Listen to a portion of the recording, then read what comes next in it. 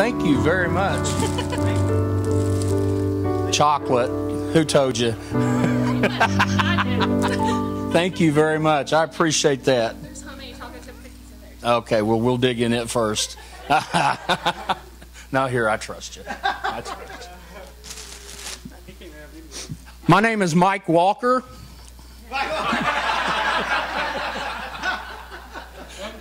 It took you a little bit, but you got it. Amen. It's good to be back in Gentry, America. What? You'll have to help me here. What happens at noon? What am I in competition with? The, the, our brother in the red shaking his head saying nothing, I guess. Uh, well, okay, let me ask you do you think the Razorbacks can win whether you watch it or not? Okay, we're good. Amen. My wife is in a town called Okemah, Oklahoma, and that is not where they hunt rattlesnakes. Let me just, that's not Okeene. Her, uh, her mom and dad's 54th wedding anniversary with this, was this last week, and she didn't get to go there, so she is in service with them this morning. She sends her greetings and her love to you. So, that picture up there, the better part of us is not here, as you can well tell. Um, but I am excited. I'm thankful to be here this morning.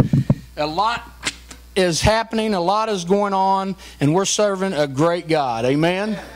Uh, we have we were back in Uganda back in November. Let's see, it, it starts running together after a while. Uh, October, November, got there in the end of October. Yeah. Uh, back there in October, November, um, hoping to go again here pretty quick uh, as as the Lord supplies that need for us. But um, this year will be 19 years we've been ministering in Uganda, Africa. That's a long time. A lot of uh, blood, sweat, and tears, anger, frustration, you, you name it, it's all been there. Um, Pastor said we, we've done churches and schools, and we have over 70 churches now scattered through uh, the rural areas of Uganda. Um, we, it just, it, isn't it, isn't it awesome when God um, lets you be part of something, and then a few years later you look back and go, man, God, you did good right there. You did really good. And, and thank you for letting me be part of that. And when we, my wife and I lived there for, uh, lived in Uganda for almost four years. And when we was living there in 2006, uh, God just kind of orchestrated it, put it together where we was able to um, purchase 14 acres right outside of a little town called Jinja, Jinja, Uganda, and I say little town, and there's a, like over a million people that live there. So, yeah, it's a little town. Um, but we bought, we was able to purchase 14 acres with the intent that I felt like that that got, what God was wanting us to do was to put a training center there so we could bring our pastors and, and not just our pastors, but pastors and believers and bring them there for training. And I'm telling you, that thing is just, t- it's taken off. We've got, we've got people going over there to that, that facility that we was able to build and training pastors and leaders and church leaders. And we're doing that two or three, four times a year. But, but then, uh, and, and I'm trying to hurry through because I know the Razorbacks are, no, I don't care. I'm just kidding. I don't care about the Razorbacks basketball as much as maybe some of you do, but what I want you, and, and I don't know, I don't even think Oklahoma showed up for a team. I don't know. But anyway, uh, the, so God, God kind of put something together. In 2009, I was standing there and, and on our 14 acres, and just to the outskirts of our property, through the trees, through the brush, and all that. I, I remembered hearing children and playing and doing different things over there, and and it was a school.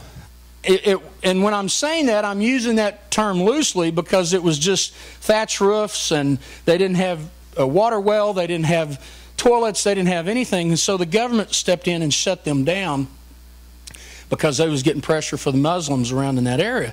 So the, the, the leader, the director of that school came to me one day and he said, uh, Pastor Mike, I've got a question for you. And I said, okay. He said, Would you be interested in opening a school here on your 14 acres? You've, you've got a latrine, you've got a water well. Uh, would you be interested? And, and in Uganda, you have to learn to say yes or no because if you think, brother, I'll pray with you about it, to them, that's okay, God said yes. So you got to be direct.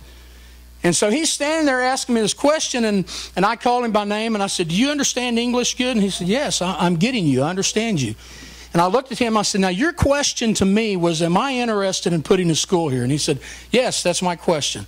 I said, My answer to you is no. I want no part of having a school on this property.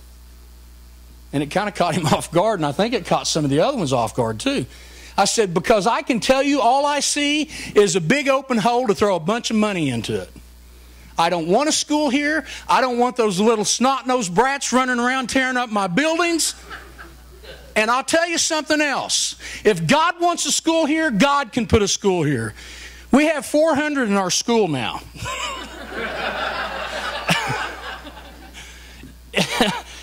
I said the right word. Call me a prophet. If God wants a school, but you know what impacted me probably the greatest was that we'd set the time in 2011 to open the school up. And I told, uh, I told them, I said, guys, I don't know what to expect. You know, we kind of put the word out. I don't know if we'll have five people show up. I don't know if we'll have 25 people show up. And finally, at 300, I had to stop it. We didn't have the facility, we didn't have the teachers, we didn't have the finances. And I said, we cannot take on any more children. We just can't. We don't have it. We can't do it right now. And if God wants it, He well. and and I was standing there, kind of complaining to Bishop uh, Moses Wasig. He was standing there, and I'm sitting here looking at a hundred, over a hundred little three, four, and five year old Ugandan children, and I'm kind of like, oh, look at the handprints. Look, they're tearing up my buildings. They're, I mean, I, you know, I'm doing a little moaning. You, you think you're a missionary. Yeah, but I gripe a lot. and I'm kind of sitting there and, and I'm just like, Pastor Moses, I said, we, I mean, this, I mean, it's amazing, but man. And he looked at me and he said, Pastor Mike, I want to tell you something. He said, I'm more excited about that nursery starting than I am the rest of this, the, the, the classes that we're having. And I looked at him, I said, Would you please explain your excitement because I'm not getting it? And he said, They're bringing their children to us. This is their first introduction to school. And we get to teach them about Jesus Christ. now we have them for life. Mm. So I asked Pastor to forgive me. I asked God to forgive me. And, and I can tell you today we've maxed out again. We've built one, two, three, four, five, six. We've got seven buildings that we've built, and we can't, we, we don't have room for any more children. And, and the awesome thing is when you get around with the locals and you get with the LC3s, and they come to us and they, they told us uh, not too long ago, a year or so ago, they said, are, are you aware what this property used to be before you purchased it some years ago? I said, No. I mean, I know they was digging out of it and stealing dirt and stuff, but I, I don't know what. It, he said, This is where they brought people to kill and make sacrifices to Satan. Wow.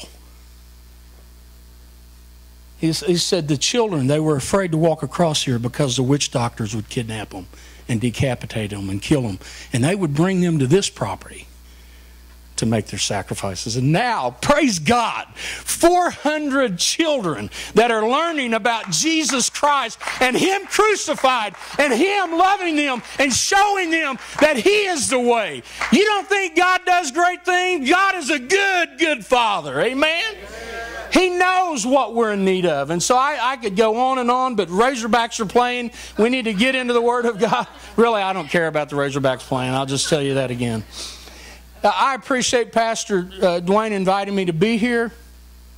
And, and, I, and I'm sincere. Yes, I used to pastor. Lori and I pastored in West Tulsa for about five years. I'll never say I'll never do it again. I have no desire to pastor. God bless our pastors. You need to hold your pastor, their family up in prayer. I know you do. But you don't think Satan's not wanting to take them out? He's wanting to take us all out, but if he can take the spiritual leaders, You need to hold your pastors up, and, and I know and I believe that you do. I, I, I, heard about two years ago a man speaking, and, and he just he said a few words that really impacted my heart.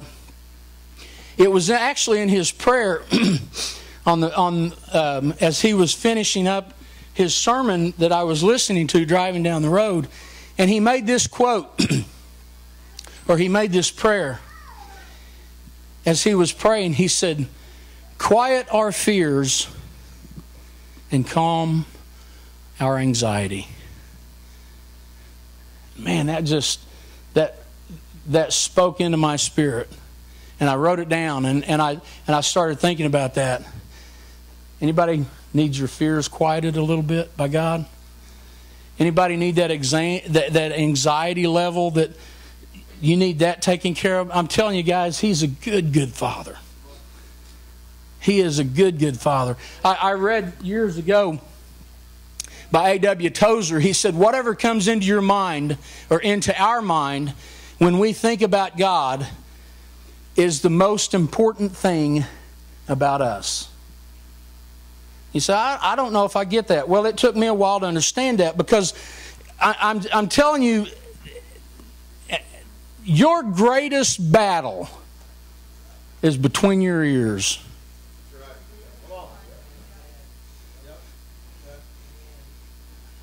It is. And, and you don't think, you know, the, the Bible tells me in 2 Corinthians, the 10th chapter and the 5th verse, it said, casting down imaginations, thoughts, and every high thing that exalteth itself against the knowledge of Mike. No, not against the knowledge of Mike, against the knowledge of God. Casting down imaginations. Who has to do that? You and I have to do that. You don't think Satan doesn't bombard you continually with thoughts of evil and depression and anxiety and fear? I want you to understand today, church, that is not of God. The Bible says that He has given us a spirit of peace and love and, and, and kindness and strength. He has not given us a spirit of fear. So, our greatest battle is laying right between this ear and this ear, and it's in this brain. It is our greatest battle. And when we can overcome it, and I, will tell you this you might be walking in victory on one day and wake up the next morning and just feel like someone slammed you upside the head with a two before. It's what Satan does. And so many times my prayers is God come and quiet our fears and calm our anxiety. And what is what what do I think? What is my thought when God enters into my mindset? Well, I can tell you for many years,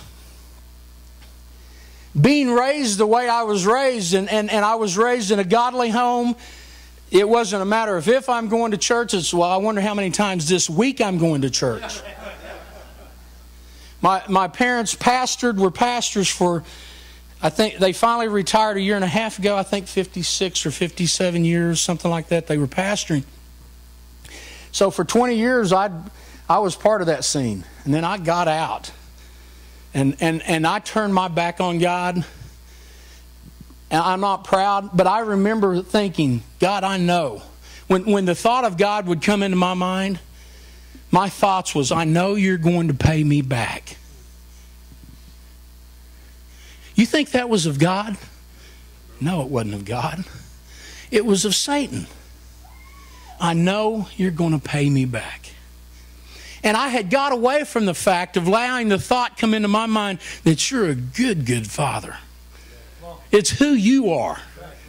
And however good or however bad I am doesn't reflect upon how good He is. Because He's a good, good Father. It's who He is. What you do, what you don't do, doesn't impact the fact that He is a good, good Father. Amen? It's not going to change that. And it's not going to change the fact that He loves you unconditionally. There's a reason why Jesus on the cross, beaten, thorns on his head, spear in his side, standing there before humanity in all of his pain and in all of his sorrow, and he simply said, It is finished. What's finished?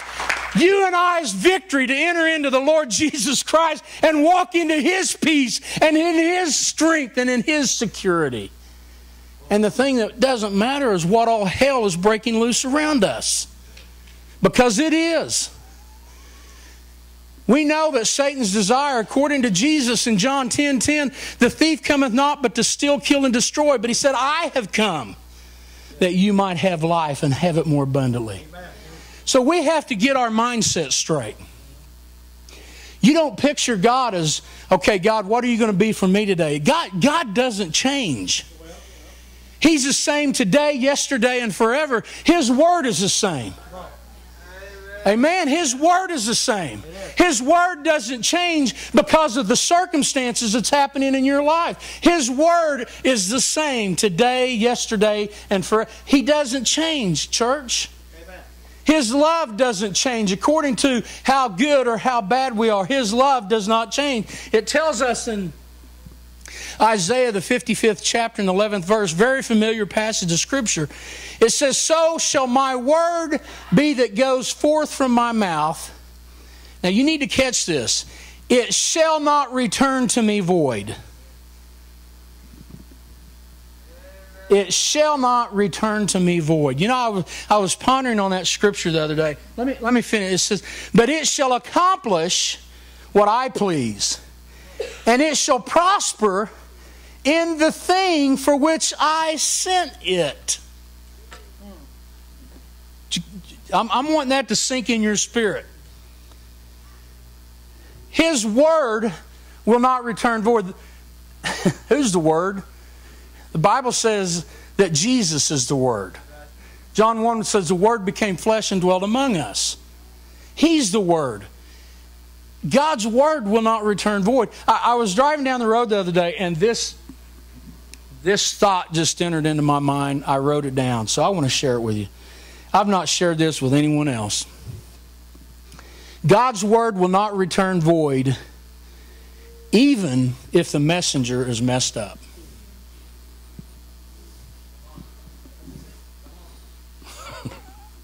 It doesn't matter how messed up the messenger is, the message will not return void. And, and I can tell you, there's a lot of messengers this I'm not talking about preachers, past, but I am talking about preachers, pastors. I'm talking about all of we're messengers. We we have the gospel of the Lord Jesus Christ. And it doesn't matter how messed up your situation is, the word of God will not return void. It will accomplish what God has sent it to accomplish. His word will not return void. Uh, I, I, I probably shared this with you before, but I remember years ago watching this commercial, and, and the best of my recollection, it was some kind of an insurance commercial.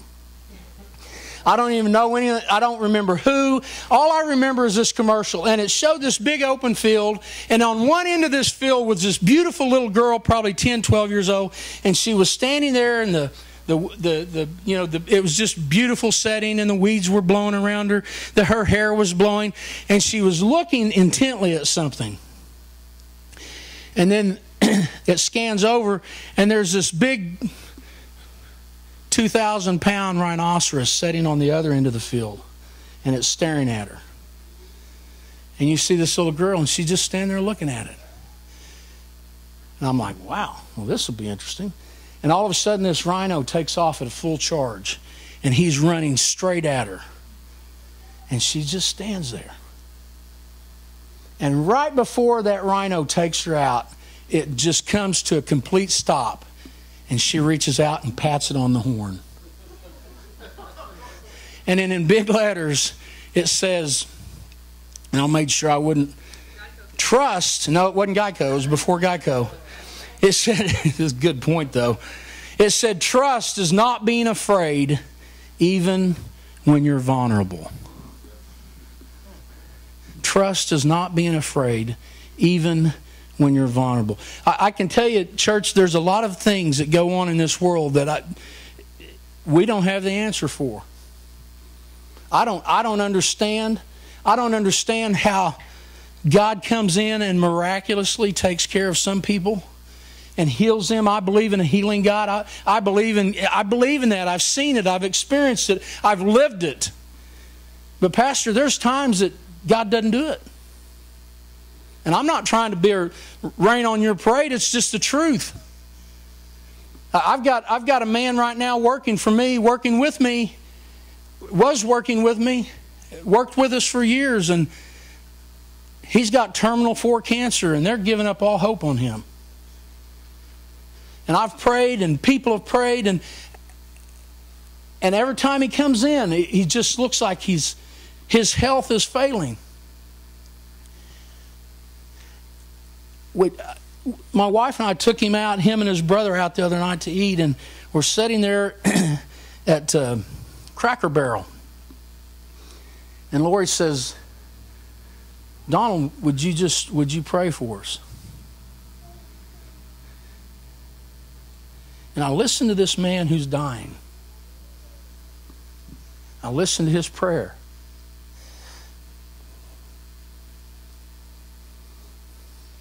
I thought, it's going to be okay. It doesn't matter the circumstances of this life. I hope and I pray that Donald will be completely healed. But if he's not, he's going to be okay. Right. if he's not, he's going to be okay. And I'm telling you guys, I don't understand it. I do not understand it. I, I know my grandson, my youngest grandson, two weeks old, our son and daughter call us and uh, daughter-in-law call us and they said something's wrong with ashton. And, and we rushed over there at 9 o'clock on a friday night and, and his little eyes was rolling back in his head and, and we called the ambulance and they took, they took him in at st francis hospital and i drove like a bandit and i beat the ambulance there and they got him in and started running tests and the doctors came out and said your grandson has a brain bleed We've got to go in immediately and we've got to try to stop this. You don't think the devil's in hell was coming against us? See, it's, it's those things that Satan comes and puts in your mind, and it's up to you as to whether you allow that to defeat you or you remember that God's word does not return void. And Satan was coming to me and telling me, you need to prepare. You need to prepare to preach your grandson's funeral. And we started getting the word out. I got on Facebook. Thank God for Facebook. I know there's a lot of negative, but I'm telling you, Facebook went out. Uh, we had people in Africa. We had people in Germany. We had people in China. We had people all over praying for my grandson. The doctors stopped the bleeding. They come in and they said, We don't know what's going on. We, because of the altitude, we can't put him in a helicopter or an airplane. We really need to get him down to Dallas. They have their specialists down there, but we can't do it because the altitude. We don't know what it'll do to him. So we, we're going to watch him. We're going to keep an eye on him. And I'm telling you, we started praying. Pastor, at 2 o'clock in the morning, that Friday morning, they did emergency surgery on my grandson. And I'm telling you, for Friday morning, uh, Saturday morning, and all day Saturday and Sunday, it was looking pretty bleak. And I'm telling you, Satan was there to come and saying, I'm taking your grandson out. But we started continuing to pray and believe. And Monday, the answer came, and my son come walking out of the door, and he said, God has intervened. God has intervened. God has intervened. I'm telling you guys, God can do that. But what about the times that it doesn't happen? I remember Bishop Moses Wasigue, one of, one of our great leaders in Uganda, Africa. I am so humbled to be able to be his servant. The, the man, I told him one day, I said, Man, you are Moses. There's a reason God gave you that name. He, he, he lost two little girls to the measles back in 99. And then God blessed him with a with a little boy that they named Emmanuel. When Emmanuel was malaria just runs rampant in Uganda, and, and usually, if those children can reach the age of five or six years old, it's not that they don't get malaria, it's just that they kind of build an immunity to it and it doesn't, it doesn't completely take them out. But a man Emmanuel, uh, he got cerebral malaria. And we, we sent him and his mom and dad, we sent them to Nairobi to the best doctors that they had. And, and they came back, and Little Emma was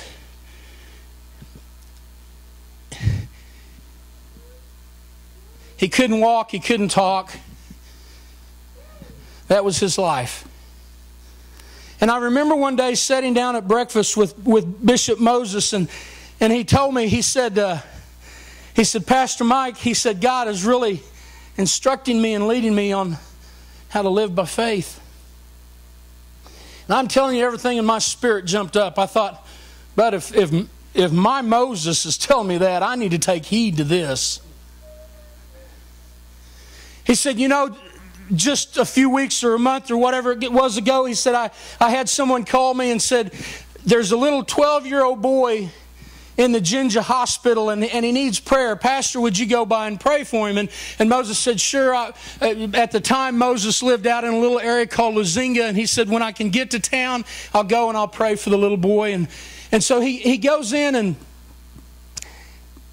he sees, he sees the little boy, and, and, and, and the little guy had, had this tumor growth on the side of his neck, and it had grown out to the point that he could barely swallow, and the doctors was afraid to do surgery. And, and, and as Pastor Moses walked into his room, he was telling me, he said, God spoke to my spirit, and he said, You, you tell this young man, tell this little guy that I'm going to heal him.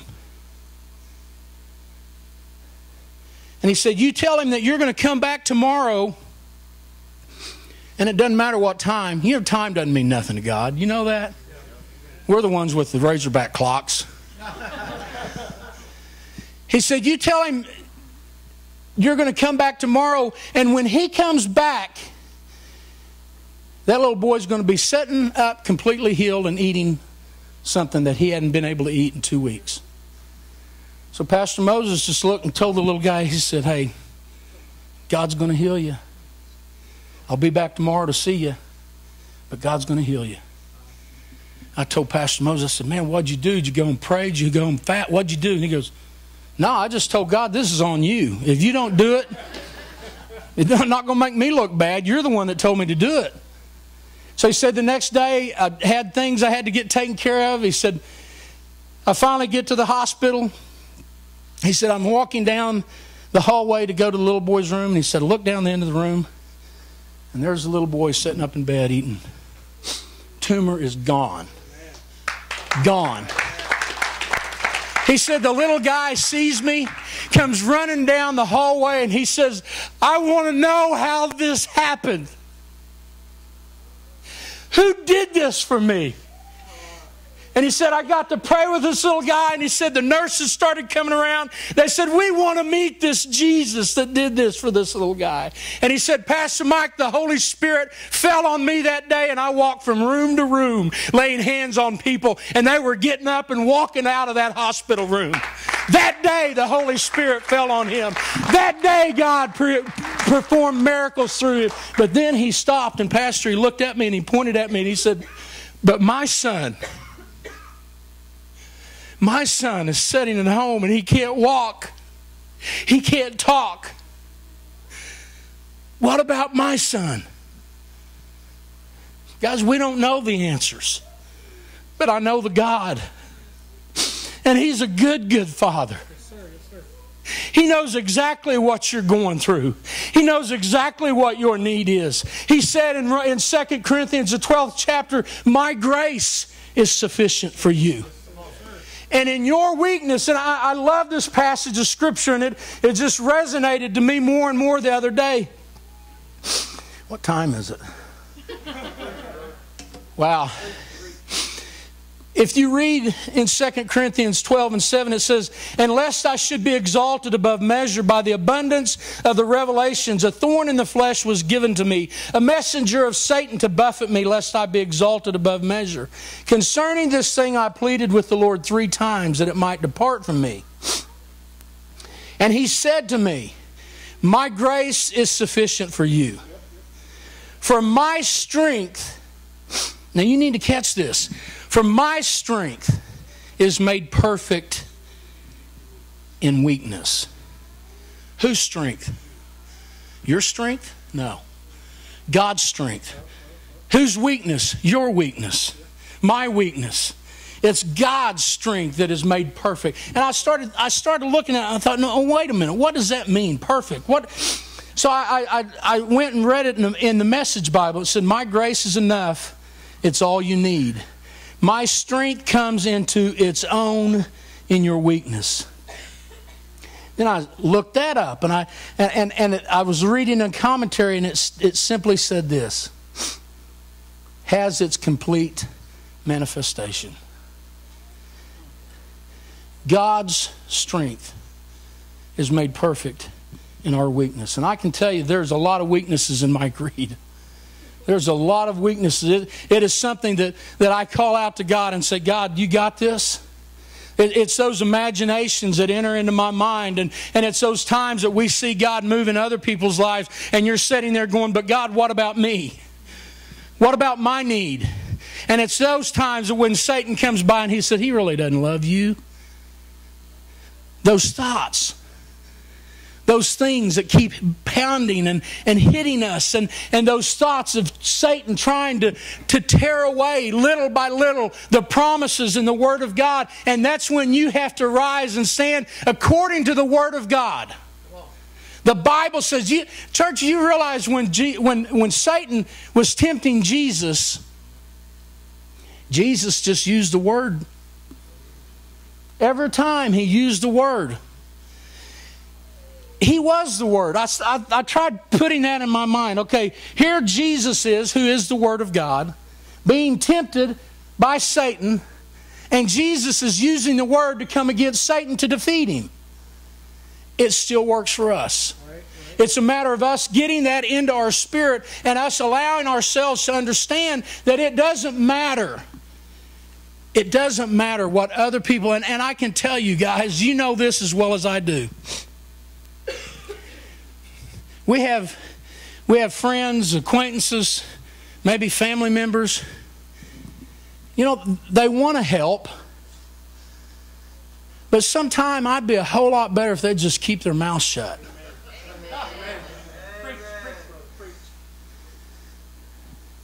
They don't know what you're going through.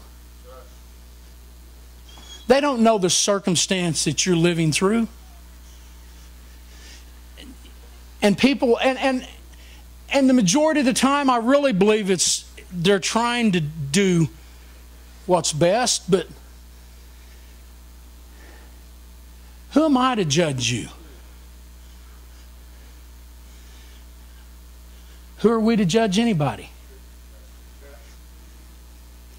All we need to do is remind people of the Word of God. All we need to do is tell people God loves you. You know, I've made this statement before, but I was reading one time years ago, uh, C.S. Lewis he, he, he made this comment. He said, Believing things on authority only means believing them because you have been told them by someone you think is trustworthy. And then, then he went on and he said, 99% of the things that you believe, you believe on authority.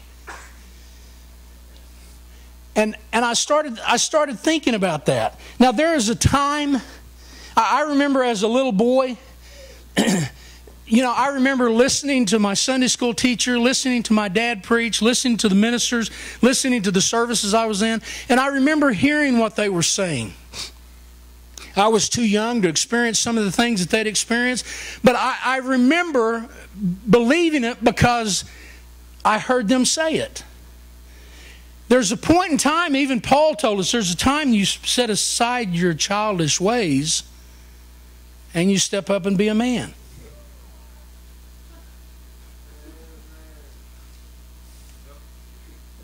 And the only way you can do that is if you know what God's Word says. Amen? Women, I didn't, I didn't mean that. Men and women. We, we got to set aside those childish things and we got to step up into the maturity of where God wants us to be. And it's a, that that maturity comes through life, experiencing life. But it also comes through knowing what the Word of God says and reminding ourselves what the Word of God says. And, and so I, I remember I, I was about six years old, my brother was about 10. And I, I, think I've shared this with some of you before. My grandpa had the most awesome job in the world. And I, I remember thinking when I was six years old, I thought, man, when I grow up, I want to do what my grandpa Ross does. He worked on a trash truck in Fairfax, Oklahoma. Man, he found all kind of treasures. I mean, he would bring my brother and I stuff. It just rocked. I mean, he'd bring pocket knife. Well, no, he wouldn't bring pocket knife for a six-year-old. Shotguns. No, not really. but I thought, man, that is so cool. My grandpa gets to look through all these treasures. Yeah, that's a six-year-old thinking that, okay? But I remember one time he brought us this little dumpy puppy dog that he found sitting on the trash route. And he came to us, and, and uh, obviously he'd asked our parents if it was okay, but he came to us and he said, Boys, I found this little dog, and, and, you're, and I'm giving you this puppy. His name was Frisky. He said, Now, the, the only problem is he's blind in one eye, but he, he'll be a good dog for you. Well, see, we had heard, because we were still children, we had heard, we had been told that God heals. That's what we'd been told. Now, I, I personally, as a six year old, I'd never laid hands on anyone and then received their healing. But we had this thought hmm, my dad says God heals. So we took our little dog, went back and set him on the, on the uh, washing machine, and my brother and I laid hands on our little dog just like we've seen them do it in Big Boy Church. And we laid our hands on the dog and said, Our most gracious Heavenly Father. yeah. Right. Go Razorbacks! Whoop. We prayed for that dog and God healed it. He did. He healed that dog.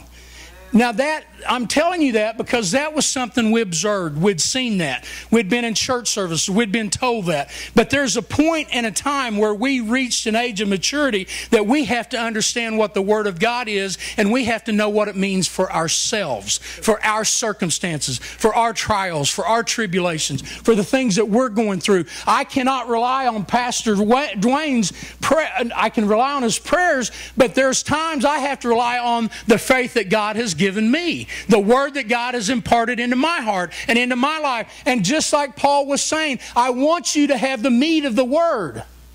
I want you to have the revelations of what God has in the Word because in those revelations brings maturity, and in maturity brings victory, and in victory brings relationship builders with Jesus Christ.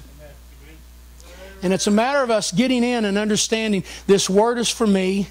This word is for my family, but most importantly, this word is for the circumstance that I'm going through right now. This word is for the problems and the trials that I am going through right now.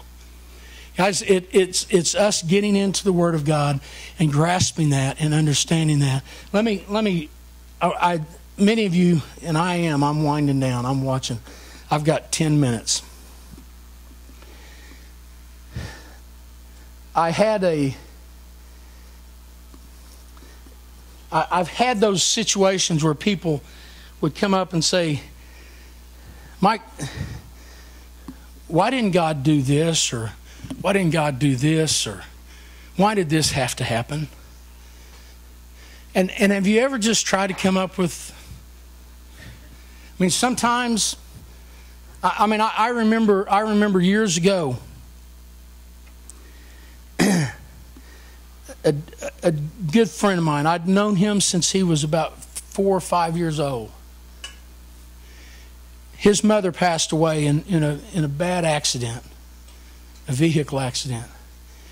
And we got the word and we drove, drove to Claremore to the house. And, and I remember Sean walking in naturally broken. And he come over and he put his arms around me and he said, Mike, why did this happen?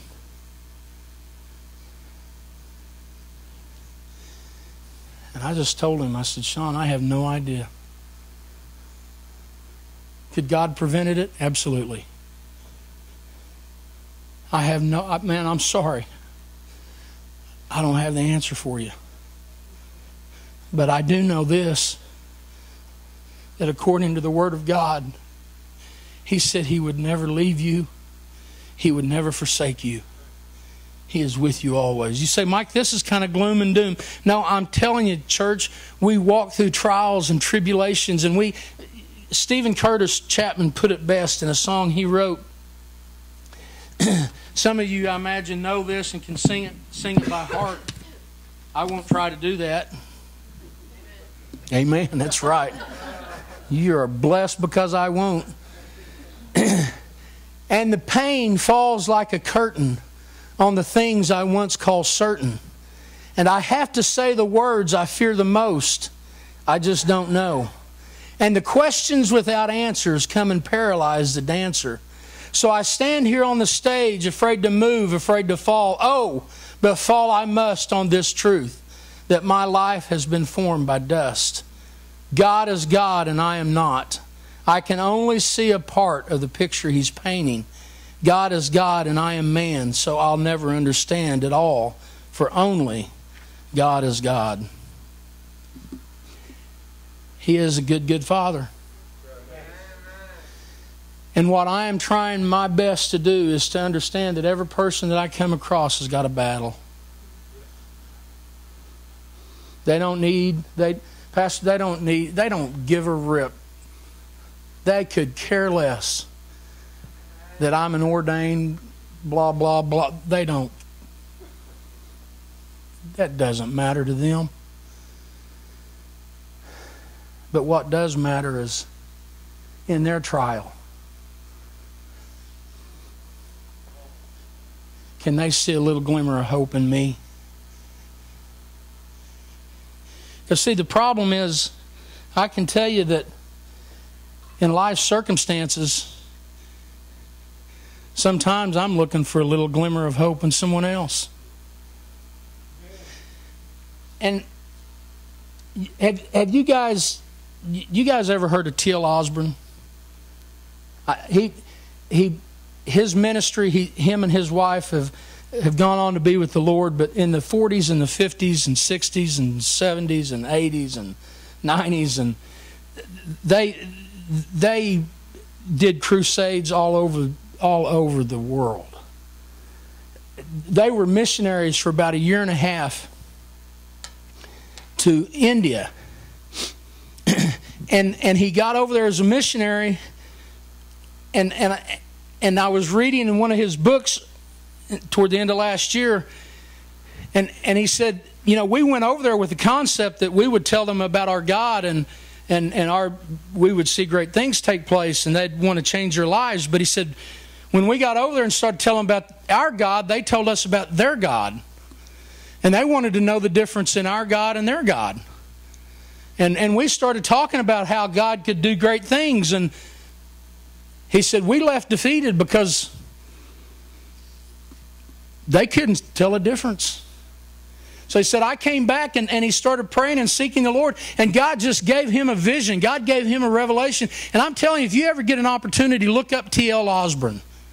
The man, God used him and his wife Daisy in ways they would have hundreds and hundreds and hundreds. I mean, they've got it documented. Hundreds and hundreds of people healed every day uh, during their crusades all over africa all over india i mean they went they and, and their headquarters is right was right out of tulsa oklahoma I mean, it was it was just amazing. I, and I was reading up on him, and, and, and one of the reasons I was reading up on him about four four and a half years ago, I was at my doctor.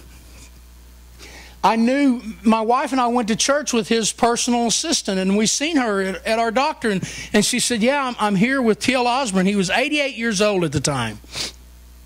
Fighting pneumonia, fixing to leave to go to India for a month. 88 years old the awesome thing is one of the young men that he had prayed for years and years ago in India was the man that contacted him and said, If you'll come back to India to minister, I'll pay for all your expenses to get over here for a month. 88 years old. And she said, Would you like to meet T.L. Osborn? I'm kind of like, it's like meeting Apostle Paul. I mean, seriously. That's, that was what I, I'm fixing to meet Apostle Paul in the 21st century. And so we walked in, and, and he's sitting there in, in, the, in, in the room, and he's, and he's got a cane, and he's apologizing to me because he's having to use a cane. You're 88 years old. You're fighting pneumonia. I mean, and so I got to meet him. It was an honor. It was, it was, it was awesome. It was great. And so I go back and I'm, I'm over in my room talking to the nurse or whatever. And then the doctor, who's a good, he's good Christian man, he comes into my room. He goes, Mike, I need to see you for a minute. I said, okay. So he, he comes and gets me, he comes and gets Lori. He said, we're going to go pray for T.L. Osborn. Excuse me? He said, we're, we're going to we're gonna go around and we're going to pray for T.L. Osborn we go into TL's room and he's sitting there and Dr. Block says, Brother TL, we, we just want to have a word of prayer for you. And he goes, Oh, that'd be great. So I'm kind of standing there and Dr. Block looks at me and he said, Mike, would you lay hands on TL Osborn and lead us in this prayer? Excuse me? I got to lay hands on TL Osborn and pray for him. This man, this man had seen more miracles performed in his lifetime than they could even put in a book. But you know what I learned in that? It doesn't matter. none of that matters to God. I, hang on, that came out wrong. it does matter to God. What, do, what doesn't matter, what God is looking for is just a willing vessel. He, he doesn't care if you're a T.L. Osborn or you're a Mike Reed. He's just looking for a willing vessel. He's just looking for someone who'll stand on the promises of His Word and be obedient to what God is saying. Let me, let me in closing, I am, I really am. Let me read to you an art, uh, uh, something I took out of T.L. Osborn's book. we have urged ministers and lay people to pledge never to condemn again what God has paid so much to redeem. You catch that? Never to negate or reduce or impoverish what God treasures so dearly. Never to accuse or judge again what God paid so much to forgive and justify. Never to harm or destroy again what God paid so much to heal, restore, and save. Never depreciate, discredit, or disparage again what God paid so much to dignify and to make royal. Never to criticize or revile again what God esteems to be of such infinite value. Man, that that is what every Christian needs to have in our spirit. I believe God is going to strategically place you and I in people's lives, not to criticize, but to lift up. Not to be prejudiced, but to embrace. Not to set up walls and say, you're the wrong color. You're of the wrong place. You're of the wrong pay grade. You live in the wrong neighborhood. I'm telling you guys, that is not of God. He's wanting us to be a servant. That we can look at people and say, Yeah, I don't know about you, but I'm going through hell right now.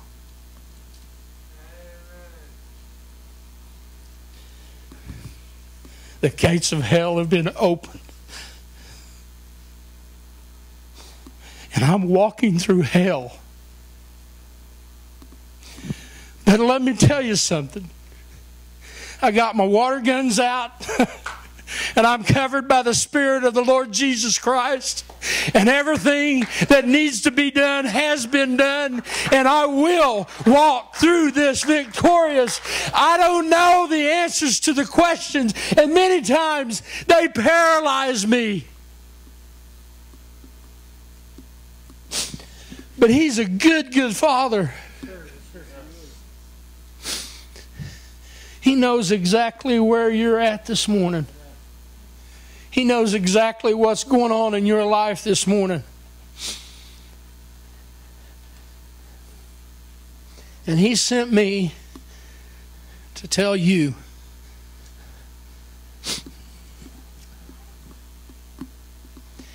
He loves you.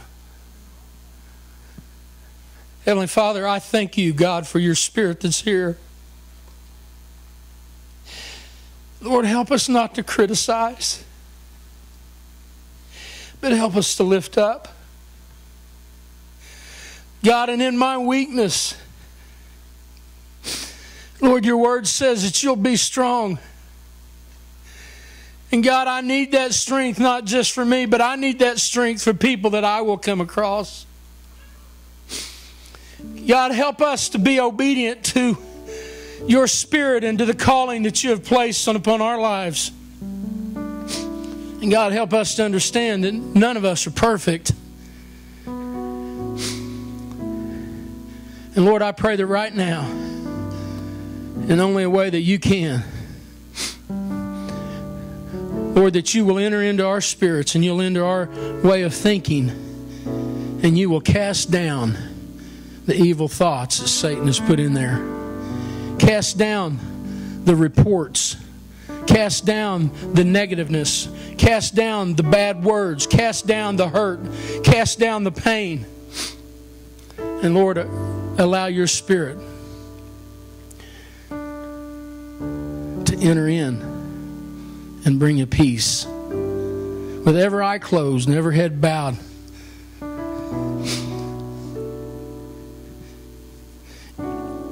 If you don't know the Lord Jesus Christ, I, I, there are new faces here. If you don't know Jesus, I want to give you an opportunity to come up here. It'd be the greatest day of your life when you enter into relationship with Jesus Christ. If that's you, feel free to come up here and let us pray with you. I trust that everyone here is a believer. But maybe you are going through something right now that something something new